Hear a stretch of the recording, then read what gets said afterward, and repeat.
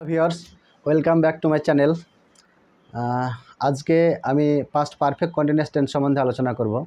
Past perfect continuous tense মানে হচ্ছে যে অতীতে কোনো একটি কাজ হ্যাঁ সময় ধরে চলছিল বোঝাবে। তার ইংরেজি গঠন হচ্ছে সাবজেক্ট হ্যাড বিন ভার্বের সঙ্গে আইএনজি অবজেক্ট এবং শেষে টাইম তো যেমন এক্সাম্পল আমি দু ঘণ্টা ধরে ইংরেজি পড়ছিলাম।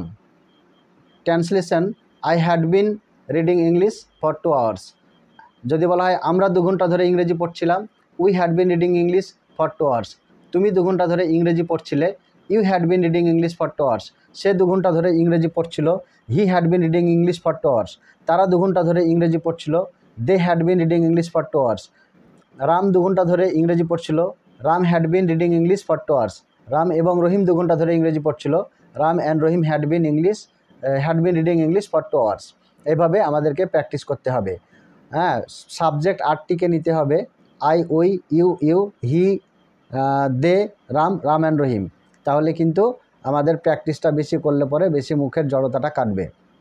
তো অন্য একটা এক্সাম্পল যেমন আমি দু আমি দু ঘণ্টা ধরে cycle চালাচ্ছিলাম। I had been riding cycle for two hours আমরা দু ঘণ্টা ধরে cycle চালাচ্ছিলাম। We had been riding cycle for two hours তুমি দু ঘণ্টা ধরে cycle চালাচ্ছিলে you had been riding cycle for two hours তোমরা দু ঘণ্টা ধরে cycle চালাচ্ছিলে you had been riding cycle for two hours সে দু ঘণ্টা ধরে সাইকেল চালাচ্ছিল he had been riding cycle for two hours তারা দু ঘণ্টা ধরে সাইকেল চালাচ্ছিল they had been riding cycles for two hours এইভাবে প্র্যাকটিস করতে হবে। Thank you